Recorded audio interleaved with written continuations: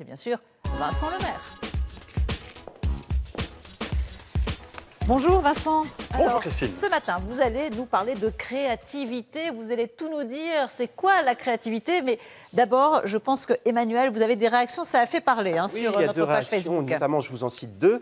Walter qui définit la créativité comme euh, une création sans- euh, qui, ne, qui continue tout le temps, hein, qui cherche tout le temps qu'être autre chose, qui n'a pas... je vais y arriver. Allez, il cherche toujours autre chose qui n'a pas encore été créé, voilà. Et Michael qui dit qu'il crée des maquettes, alors ça... Ça, Ça stimule, en fait. sa créativité, voilà. Alors Vincent, dites-nous tout, c'est quoi la créativité On veut savoir. hein. Alors, une définition, parce qu'il y en a plein forcément des définitions, c'est euh, la capacité à mettre en œuvre, voire donc, à simplement imaginer quelque chose de nouveau, quelque chose de neuf, un objet nouveau. Mais c'est aussi trouver une solution originale à un problème. Euh, on entend souvent associer au mot créativité la notion d'imagination et la notion d'originalité. Grosso modo, c'est ça, la créativité. Alors, elle n'est pas forcément euh, essentielle pour tout le monde. On, se doute que pour les artistes, euh, voilà, les inventeurs, voilà, c'est important d'avoir une créativité euh, développée.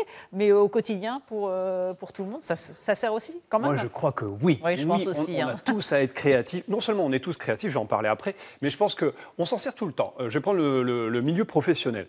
Dans les entreprises, on est constamment en train de chercher à améliorer le service, à améliorer le produit. On est constamment en train de chercher à trouver des nouvelles tactiques pour faire en sorte que la production coûte de, moins en moins cher. Comment on fait Bah, Parce qu'on stimule la créativité des gens, euh, des personnes, des collaborateurs, pour trouver d'autres actions, des nouvelles, de nouvelles actions qui permettent d'être de plus en plus efficaces. C'est de la créativité. Mais j'ai envie de parler aussi du, du- du- du milieu personnel, dans la vie de tous les jours.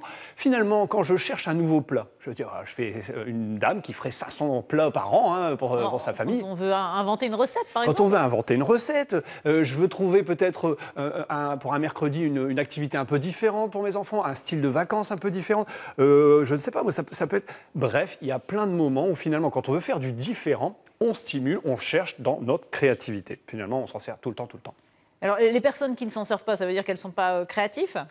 Alors, ça, c'est une croyance. Il y a des personnes qui Une se fausse pensent. croyance? À mon avis, c'est une fausse croyance. Il y a des gens qui ne se croient pas créatifs. Je pense qu'on est, on- du verbe naître, hein, euh, voilà, on est tous créatifs quand on, est, euh, quand on sort du ventre de sa maman.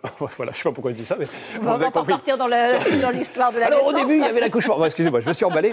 Ce que je veux dire, c'est qu'on est tous Il est très créatifs. créatif. hein, il voilà, est c'est ça. très, euh, Et euh, je pense que des fois, avec l'école, de temps en temps, on a tendance à resserrer. Moi, j'aime bien dire que la créativité, c'est un tuyau euh, qui a accès à une réserve de plein d'idées, mais on peut avoir tendance un petit peu à resserrer ce tuyau de créativité, hein, pour donner une image.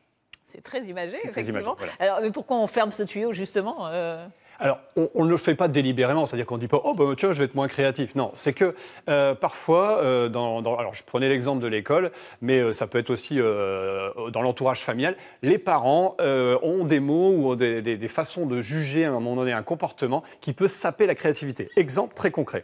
Qu'est-ce qu'on a encore dit qui n'était pas bien Bah, je ne dis pas que c'est- vous, hein, vous non, hein, mais, mais des fois, il y a des gens qui font ça.